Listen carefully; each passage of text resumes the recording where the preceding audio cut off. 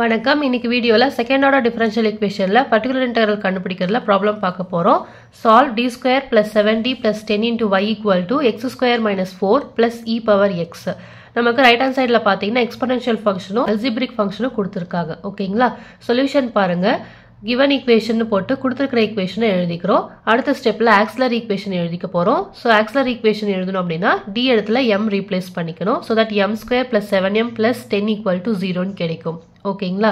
So இந்த இடத்துல நமக்கு டென் இருக்கு இங்கே செவன் இருக்கு. ஓகேங்களா? ஃபைவ் டூ மல்டிப்ளை பண்ணால் டென்னு கிடைக்கும். ஃபைவ் டூ ஆட் பண்ணால் செவன் கிடைக்கும். ஓகேங்களா? ஸோ அப்படின்னா இந்த ஈக்குவேஷன் நம்ம எப்படி எழுதலாம்? M plus five into M plus two equal to ஜீரோன்னு எழுதலாம். ஓகேங்களா? இதுல இருந்து M equal to minus five comma minus டூன்னு ரூட்ஸ் கிடைக்கும். ஸோ ரூட்ஸ் பார்த்தீங்கன்னா ரியலாகவும் டிஸ்டிங்டாகவும் இருக்கு. ஸோ தட் காம்ப்ளிமெண்ட்ரி ஃபங்க்ஷன் எப்படி எழுதணும் y equal to A into e power M one x plus B into e power M two எக்ஸ்னு எழுதணும். ஓகேங்களா? So therefore complementary function is y equal to A into e power minus five x plus B into e power minus two எக்ஸ்னு கிடைக்கும். ஓகேங்களா next ஸ்டெப்ல particular integral கண்டுபிடிக்கணும். So PI equal to one by D square plus seven D plus ten into x square minus four plus e power எக்ஸ்னு எழுதிக்கிறோம். ஓகேங்களா so இங்கே வந்து இந்த எக்ஸ் ஸ்கொயர் மைனஸ் ஃபோர் ஒரு டேர்மாவும் இ பவர் எக்ஸ் ஒரு டேர்மாவும் நம்ம பிரித்து எழுதிக்க போகிறோம் ஓகேங்களா பாருங்க எழுதியிருக்கோம். ஸோ இது வந்து பிஐ ஒன்னு நம்ம சால்வ் பண்ண போகிறோம் இது வந்து பிஐ டூவாக நம்ம சால்வ் பண்ணிக்க போகிறோம் ஓகேங்களா PI one equal to one by D square plus seven D plus ten into x square minus four அப்படியே நம்ம எழுதிக்கிறோம். இங்கே பார்த்தீங்கன்னா நமக்கு அல்ஜிப்ரிக் ஃபங்க்ஷன் இருக்குது இல்லைங்களா? ஸோ நம்ம என்ன பண்ணணும்? One minus D the whole power minus one அந்த ஃபார்மில் வந்து எழுதிக்கணும். ஓகேங்களா ஒன் பை டினாமினேட்டரில் பார்த்தீங்கன்னா டென் வந்து காமனாக வெளியே எடுக்கிறோம். So into one plus seven D plus D square by டென்னு கிடைக்கும். ஓகேங்களா? Into x square minus four அப்படியே நம்ம எழுதிக்கிறோம். அடுத்த ஸ்டெப்பில் ஒன் பை டென் அப்படியே நம்ம எழுதுகிறோம் one by one plus seven D plus D square by ten வந்து நியூமரட்டில் எழுதும்போது one plus seven D plus D square by ten the whole power minus ஒன்னு கிடைக்கும். ஓகேங்களா? Into x square minus four அப்படியே நம்ம எழுதிக்கிறோம். இங்கே பார்த்தீங்கன்னா one plus D the whole power minus one அந்த ஃபார்மில் இருக்கு இல்லைங்களா? ஸோ அந்த ஃபார்முலா நம்ம யூஸ் பண்ணலாமா? So one plus D the whole power minus one formula நமக்கு தெரியும். One minus D plus D square minus etcetera infinity ஓகேங்களா? ஸோ இங்கே டி இடத்துல நமக்கு seven D plus D square by டென்னு இருக்குது இப்போது நம்ம எக்ஸ்பேண்ட் பண்ணும்போது one minus seven D plus D square by ten plus seven D plus D square by ten the whole square minus எக்ஸெட்ரான்னு கிடைக்கும். Okay into x square minus four அப்படி நம்ம எழுதிக்கிறோம். இங்கே முன்னாடி ஒன் பை டென்னும் அப்படி நம்ம எழுதிக்கிறோம். ஓகேங்களா?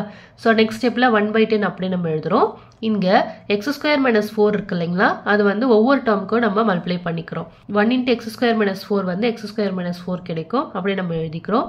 அடுத்து இங்கே ரெண்டு டேர்மாக நம்ம ஸ்பிட் பண்ணிக்க போகிறோம் இங்கே மைனஸும் இருக்கு இல்லைங்களா? ஸோ இந்த மைனஸும் மல்டிப்ளை பண்ணிக்க போகிறோம் இதை வந்து ரெண்டு டேர்மாக நம்ம பிரித்து எழுதிக்க போகிறோம் so that minus seven D by ten into x square minus ஃபோர்னு கிடைக்கும். இங்கே minus D square by ten into x square minus ஃபோர்னு கிடைக்கும். ஓகேங்களா? இந்த இடத்துல பார்த்தீங்க அப்படின்னா A plus B the whole square ஃபார்ம்லாம் நம்ம அப்ளை பண்ணிக்கலாம். ஸோ அப்ளை பண்ணும்போது இந்த ஃபர்ஸ்ட் டேர்ம் நமக்கு வந்து seven t by ten the whole ஸ்கொயர்னு கிடைக்கும். ஓகேங்களா? Into x square minus four multiply பண்ணிக்கிறோம். ஓகேங்களா? ஸோ அடுத்து பார்த்தீங்கன்னா ஃபார்முலா அப்ளை பண்ணும்போது t cube term t power four term கிடைக்கும். இங்கே எக்ஸ் ஸ்கொயர் மைனஸ் ஃபோர் தான் இருக்கு இல்லைங்களா? ஸோ எக்ஸ் ஸ்கொயரை டூ டைம்ஸ் டிஃபரன்ஷியேட் பண்ணும்போதே நமக்கு கான்ஸ்டன்ட் கிடைச்சிரும். அந்த கான்ஸ்டன்ட்டை அடுத்து டிஃபரன்ஷியேட் பண்ணும்போது நமக்கு ஜீரோ தான் கிடைக்கும் இல்லைங்களா? ஸோ அதனால a square plus two a b plus b square ஃபார்முலால இந்த ஏ ஸ்கொயரை மட்டும் நம்ம எழுதிக்கிறோம்.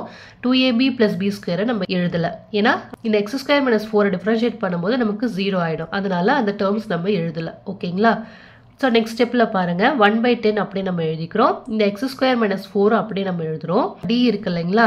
ஸோ டிஃபரன்ஷியேட் பண்ணணும். இந்த எக்ஸ் ஸ்கொயர் மைனஸ் ஃபோரை டிஃபரன்ஷியேட் பண்ணணும். எக்ஸ் ஸ்கொயரை டிஃபரன்ஷியேட் பண்ணும்போது டூ எக்ஸ்னு கிடைக்கும். இந்த ஃபோர் டிஃபரன்ஷியேட் பண்ணால் ஜீரோ இல்லைங்களா? ஸோ தட் நமக்கு minus seven by ten into two x மட்டும் கிடைக்கும். ஓகேங்களா ஸோ அடுத்த டேர்ம் பாருங்கள் இங்கே t square x square minus four இருக்குது ஸோ அப்போ இந்த எக்ஸ் ஸ்கொயர் மைனஸ் ஃபோரை டூ டைம்ஸ் டிஃபரன்ஷியேட் பண்ணணும். ஸோ ஃபர்ஸ்ட் டைம் டிஃபரன்ஷியேட் பண்ணால் டூ எக்ஸ் மைனஸ் ஜீரோன்னு வரும். இன்னொரு தடவை டிஃபரன்ஷியேட் பண்ணும்போது இந்த டூ எக்ஸ் மட்டும் இருக்கும் இல்லைங்களா? டூ எக்ஸை டிஃபரன்ஷியேட் பண்ணும்போது டூன்னு கிடைக்கும். So that minus one by ten into டூன்னு கிடைக்கும். ஓகேங்களா? அடுத்து பாருங்க. இங்கே seven t by ten the whole square square apply பண்ணிக்கலாம் இல்லைங்களா? செவன் ஸ்கொயர் பண்ணால் ஃபார்ட்டி நைன் வரும். டென்னு ஸ்கொயர் பண்ணால் ஹண்ட்ரட் வரும். இங்கே டி ஸ்கொயர் டி ஸ்கொயர் வந்து டிஃப்ரென்ஷியேட் பண்ணணும். எக்ஸ் ஸ்கொயர் மைனஸ் ஃபோரை டிஃப்ரென்ஷியேட் பண்ணணும் இல்லைங்களா? டூ டைம்ஸு ஸோ அப்போ டூ டைம்ஸ் டிஃப்ரென்ஷியேட் பண்ணும்போது நமக்கு டூன்னு கிடைக்கும். இங்கே பண்ண மாதிரி. ஓகேங்களா? நெக்ஸ்ட் ஸ்டெப்பில் பாருங்கள் ஒன் பை டென் அப்படியே நம்ம எழுதிக்கிறோம். எக்ஸ் ஸ்கொயர் மைனஸ் ஃபோரும் அப்படியே நம்ம எழுதுகிறோம் இங்கே டூ டென்னு நம்ம கேன்சல் பண்ணிக்கலாம் இல்லைங்களா? ஸோ அப்போ செவன் பை ஃபைவ் இன்ட்டு எக்ஸ்ன்னு கிடைக்கும். ஓகேங்களா? அதே மாதிரி இங்கே டூ டென் கேன்சல் பண்ணால் ஒன் பை ஃபைவ்னு கிடைக்கும். ப்ளஸ் இங்கே டூ ஹண்ட்ரட் நம்ம கேன்சல் பண்ணால் ஃபார்ட்டி நைன் பை ஃபிஃப்டீன் கிடைக்கும். ஓகேங்களா? ஸோ நெக்ஸ்ட் ஸ்டெப்பில் ஒன் பை டென் அப்படி எழுதுகிறோம் எக்ஸ் ஸ்கொயர் அப்படி நம்ம எழுதிக்கிறோம். இங்கே எக்ஸ் டேர்ம் இருக்கு இல்லைங்களா? அதை நம்ம எழுதிக்கிறோம். Minus seven by five into x இங்கே minus four minus one by five இருக்கு இல்லைங்களா? இதை நம்ம கிராஸ் மல்டிப்ளை பண்ணால் மைனஸ் டுவெண்ட்டின்னு வரும். மைனஸ் ஒன்னோட ஆட் பண்ணிட்டீங்க அப்படின்னா மைனஸ் டுவெண்ட்டி மைனஸ் ஒன் வந்து minus twenty one by five கிடைக்கும். ஓகேங்களா plus forty nine by fifty அப்படி நம்ம எழுதிக்கிறோம். அடுத்த ஸ்டெப்பில் இந்த ரெண்டுத்தையும் நம்ம வந்து எல்சேம் எடுத்து சிம்பிளிஃபை பண்ணிக்க போகிறோம் ஓகேங்களா பாருங்க minus twenty one by five plus forty one by fifty எழுதியிருக்கேன் ஸோ நமக்கு எல்சிஎம் வந்து ஃபிஃப்டி வரும் இல்லைங்களா? ஸோ இங்கே டென்னு மல்டிப்ளை பண்ணிக்கணும். ஸோ நியூமரேட்டரில் டுவெண்ட்டி ஒனோட டென் மல்டிப்ளை பண்ணிட்டோம் அப்படின்னா minus two hundred and ten கிடைக்கும். Plus forty nine by fifteen வரும் ஓகேங்களா ஸோ இதை நம்ம சிம்பிளிஃபை பண்ணால் minus two ten plus forty nine இதை ரெண்டுத்தையும் நம்ம மைனஸ் பண்ணிட்டோம் அப்படின்னா minus one sixty one by fifteen கிடைக்கும். அதான் இங்கே நம்ம போட்டிருக்கோம். ஓகேங்களா இதான் பிஐ ஒன் ஓகேங்களா அடுத்து பிஐ டூ கண்டுபிடிக்கணும். இது is equal to one by t square plus seven t plus ten into e power x so e power x இருந்தால் இந்த எக்ஸோட கெஃபிஷியன்ட்டில் என்ன இருக்கோ அதை வந்து டி ரீப்ளேஸ் பண்ணிக்குவோம் இல்லைங்களா? ஸோ ஒன் இருக்குது so that t equal to one replace பண்ணணும். So one by one plus seven into one seven வரும் plus ten into e power எக்ஸ்னு கிடைக்கும். ஸோ இதை சிம்பிளிஃபை பண்ணால் one by eighty into e power எக்ஸ்னு கிடைக்கும். ஓகேங்களா ஸோ இதான் பிஐ டூ அடுத்து நம்ம கம்ப்ளீட் சொல்யூஷன் எழுதணும். ஓகேங்களா ஸோ கம்ப்ளீட் சொல்யூஷன் எப்படி எழுதுவோம்? Y equal to CF plus PI one plus PI two so that y equal to CF என்ன கண்டுபிடிச்சோமோ அதை எழுதிக்கிறோம். பிஐ ஒன் நம்ம என்ன கண்டுபிடிச்சோமோ அதையும் எழுதிக்கிறோம். ப்ளஸ் பிஐ டூ என்ன கண்டுபிடிச்சோமோ அதையும் நம்ம எழுதிக்கிறோம். ஓகேங்களா? இதான் நம்மளுடைய கம்ப்ளீட் சொல்யூஷன் இந்த ப்ராப்ளம் புரிஞ்சிருக்க நம்புறேன் இந்த வீடியோ பிடிச்சிருந்தா லைக் பண்ணுங்கள் ஃப்ரெண்ட்ஸுக்கு தேவைப்படுது அப்படின்னா ஷேர் பண்ணுங்கள் இந்த மாதிரி நிறைய வீடியோஸ் வேணும் அப்படின்னா சேனலை சப்ஸ்கிரைப் பண்ணிக்கோங்க. கூடவே பெல் பட்டன் கிளிக் பண்ணி ஆல் என்ற ஆப்ஷன் செலக்ட் பண்ணிக்கோங்க. அப்போ தான் நோட்டிஃபிகேஷன்ஸ் வரும். நான் போட்ட வீடியோஸ் மிஸ் பண்ணாமல் பார்க்க முடியும். தேங்க்யூ ஃபார் வாட்சிங்